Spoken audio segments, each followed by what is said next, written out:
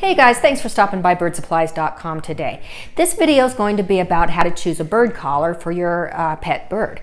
Um, as you're probably aware, birdsupplies.com specializes strictly in feather plucking birds and birds with some behavioral difficulties.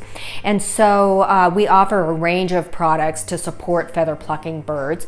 Collars is one of, uh, is one of those items. Collars interrupt the plucking cycle. They don't really stop the plucking behavior unless it's pretty mild.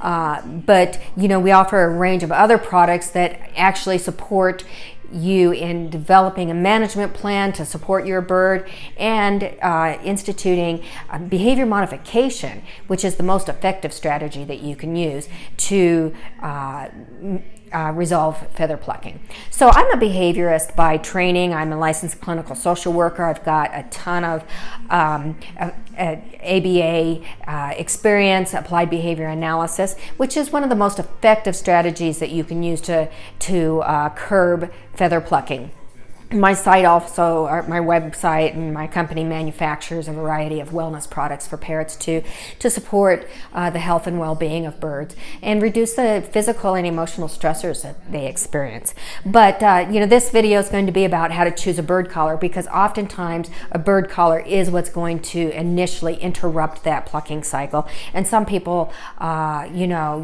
use bird collars as kind of the preferred method of managing their parrot uh, and, and and buy these, you know, in bulk and in, in, in our subscription program. So uh, I don't know how you got to the site, but um, uh, a lot of vets recommend our site. Uh, we've we've heard that it gets a little daunting when you get on that uh, bird collar page and there's eight styles of bird collars. And uh, so this video is going to walk you through how to choose a collar for your bird. And it's really pretty simple. You just need to answer two questions. Um, first of all, you need to look at the three different styles that we have. We have a cone style, which is uh, the, these what I've got in my hand. They're that uh, traditional circular um, style of a collar. You've seen them for dogs and cats and such, uh, where the head goes through the hole. Uh, we've got slip-on styles that are pretty lightweight and Velcro, and then we've got uh, a much more robust style for birds that uh, have a very severe problem or even self-mutilate. So cones is our uh, probably most popular style. But we also sell a lot of what we call neck collars, and, and let me grab a couple of those. Um, uh, we've got a very basic neck collar, but neck collars work by um, restricting the movement of the neck. So, you know, uh, you've probably seen your bird, its neck can practically go around in a 360 and they can just reach just about anywhere on their body. Well, these collars work by uh, restricting the range of motion of the neck. It's probably our least restrictive collar, to be uh, frank with you.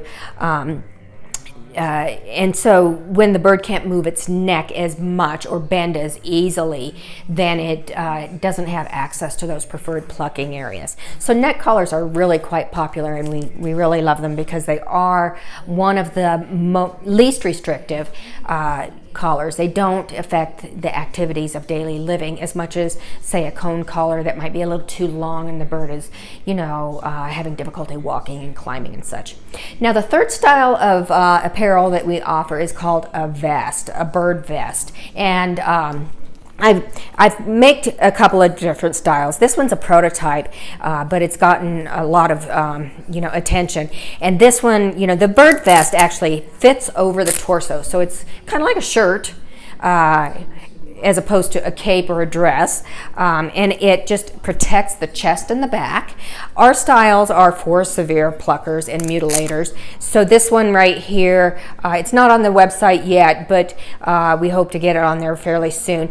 This one um, uses a veg tan leather. It's a, a, three to four ounce weight to make it really hard for the bird to mutilate its own chest, and it also it also restricts the neck movement a little bit. Um, the one that is on the website it has a Kevlar insert, and if you are familiar with Kevlar, that's the uh, uh, fabric that um, uh, bulletproof vests are made out of.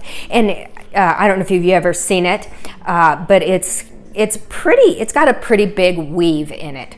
And so birds' beaks can ultimately destroy it, but it, you know, it really takes a, a lot of chewing and a lot of effort on the bird's part to chew through the Kevlar.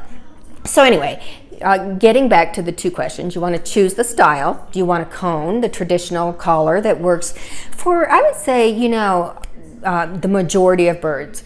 Um, uh, really do well with that. Do you want a neck collar to protect some of those uh, very hard to uh, protect places like the legs, the feet, vent, under the wings. Those areas the bird has to bend its neck a lot to get to. And so that's where a, a neck collar is going to be a, a, great choice. Or if you've got a mutilator and you really just need to protect that chest area, uh, cockatoos are notorious for this, then the vest is going to be the most appropriate one. So the next question after you choose your style is going to be identifying your bird's severity level. So here at birdsupplies.com, we uh, we, we rate the severity of plucking on what you might call a Likert scale.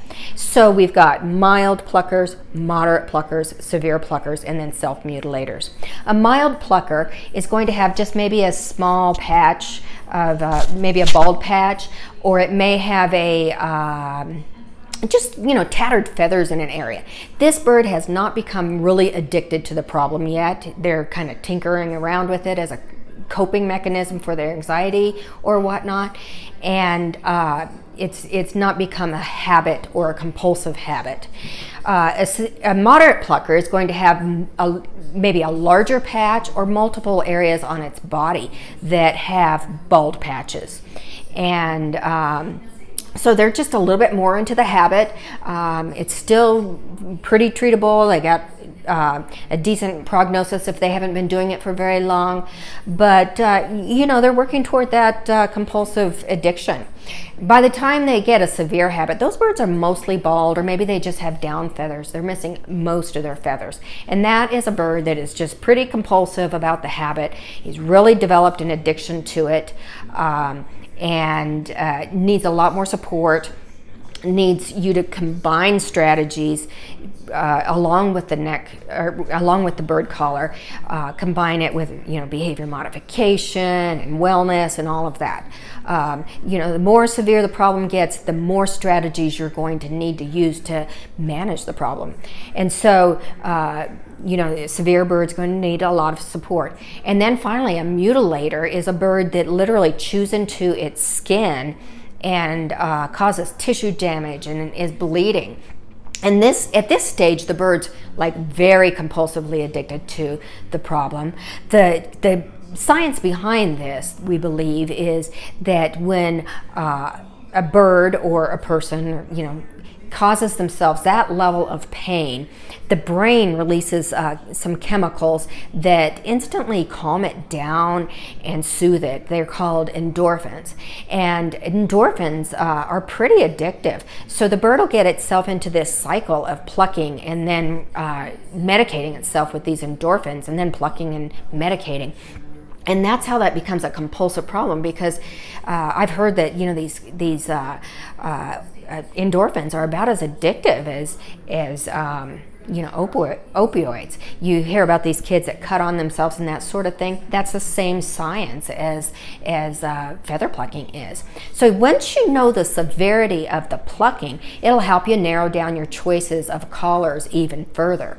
So think about a mild plucker who you know is just starting out with the plucking. You catch it early that bird doesn't need quite as much of protection. And so we've got these thin collars here. These are our slip-on styles. They're only three layers thick. The base is like two layers, and then it's got this fringy top that the bird can preen. And it's always better for the bird to chew the collar, of course, than themselves. What you want to do with this level of bird is just interrupt the cycle, and you want to, you'll probably want to utilize some behavior modification where you're really rewarding the behaviors you want to see more of playing and eating and foraging and stuff like that. So these birds would need a thin, lightweight collar. It doesn't even need to be, you know, stiff or anything. But uh, in comparison to what you would use for a severe plucker or a self-mutilator, I mean, there's a huge difference here. This one's three layers. This one's like 12 layers of, of fleece. And on top of that, it's got a stiffener in it. So the thicker and stiffer the collar is, the more robust it's going to be for those severe pluckers and those mutilators. Um, and so that's one thing to keep in mind. So, you know, we just did a comparison of the mild versus the severe collar for cone style collar. How about we look at um, these neck collars? Uh, when you're looking at the neck collars, this one right here, it's very thin. It's just, you know, uh, uh, a stiff leather insert that is um, sandwiched between this fleece. And this is going to be for a mild plucker. You can always stack these with a, a you know, um, cone collar to add strength for your bird.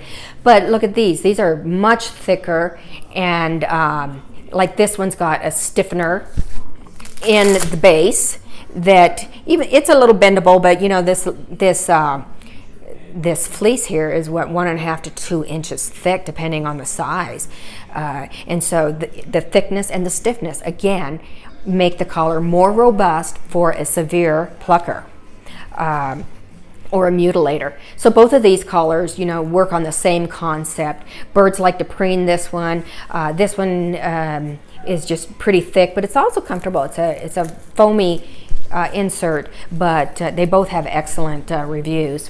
And then, uh, like I said, for our vests, those are only for our mutilators uh, because they have that uh, bulletproof Kevlar in them or else that thick veg tan leather that makes it hard for the bird to get at its wound. Um, they'll eventually chew through it. All of these collars, the bird's going to chew. I mean, they're, that's what birds do. They chew for pleasure and um, for emotional satisfaction. And so the, they are going to chew the collars, and, and that's why uh, you know we offer the subscription program is so that people can uh, get discounts you know when they um, buy them repeatedly. But I hope that helps you out choose your style first, then your severity, and uh, it'll narrow it down to a couple of different collars.